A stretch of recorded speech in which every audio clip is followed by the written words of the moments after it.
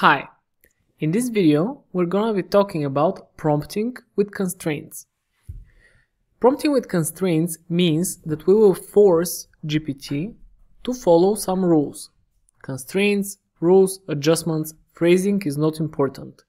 To get a better idea of uh, what we mean, two of the most common examples are changing the tone of voice and changing the length of the, the reply. Let me show you what I mean. I'll start by providing an article as context. The goal would be to summarize this article. Note that summarization is one of the key use cases of ChatGPT.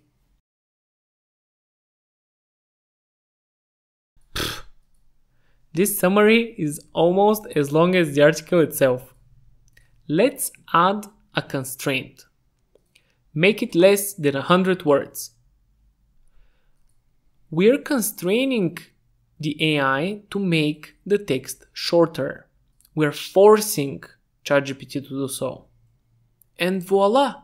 ChatGPT provides. Another popular constraint or adjustment is the tone of voice. If this is too serious for your purposes, you can always ask ChatGPT to, to rephrase in a friendly tone of voice. I'll give you some time to pause and read. In less than one minute, you have seen two types of adjustments you use most often length and tone of voice. Congrats! In reality, you can pose other constraints too. I'll use one of my favorite ones. Start each word with the same letter, O. OpenAI officially opens operations in Optimo, Dublin, Ireland. Obligations include operations oversight and so and so on and so forth. Kind of cool, right? Note that GPT 3.5 fails miserably in this task while GPT 4 is almost perfect. This constraint was first shown by Greg Brockman, co-founder of OpenAI, during the official announcement of GPT-4. Let's now try the letter G. I think Greg did G as well. Great news! OpenAI is going global, gearing up to grow in Dublin, Ireland. This one is much harder, I would say, and you can see that many of the words start with G, but not all of them. In such cases, it would be worth trying to prompt again. Every word should start with G. This is extremely important. Rephrase the text so every word starts with G. No words should start with anything other than the letter G. Goodness gracious, OpenAI is going global, galvanizing growth in Grand Dublin, Ireland. Group's goals, guiding operation governance, and so on. Not bad not bad. It did much better, and, and one of the reasons is that our instructions were very, very prominent. Okay, let's move on. Write a limerick. A limerick is a humorous five line poem with a rhyme scheme. This is a perfect example of a constraint. In Dublin, OpenAI took its stand in Ireland's tech scene so grand. With AI advancements lure, innovation will endure as OpenAI and Ireland's growth go hand in hand. Cool. How about a haiku? A haiku is a Japanese poem of 17 syllables.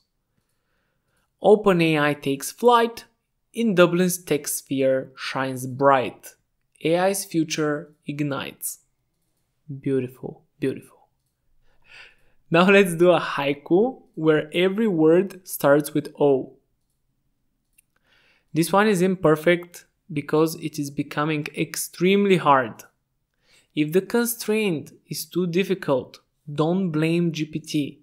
At the end of the day, GPT is not only following your rules, but also ensuring it's still making sense. Want to have some fun? Okay, Let's try the same but with emojis only. Fun but rather pointless, right? Okay, let's get back on track. what other constraints are there? If you have five examples of constraints, can you think of a way to find more constraints? You've seen this already, prompting by example. Try to do this on your own or check out the reading 6.9 other constraints. Over there, I have defined the following context. One, I'm creating an online course about LLMs. Number two, the whole video script of the lecture as context. And number three, the whole constraints chat that we had up until now. I just copy pasted it. No formatting is needed, no nothing. In this way, I have ensured that I have provided most of the meaningful context there is. The goal? What other constraints are there similar to those in the lecture? There you have it. As usual, we have asked about 20 more and ordered them in a table. Nice. Please do the reading you don't have to remember all the constraints, but it makes sense to just know about their existence. Okay. See you in the next lecture and thanks for watching.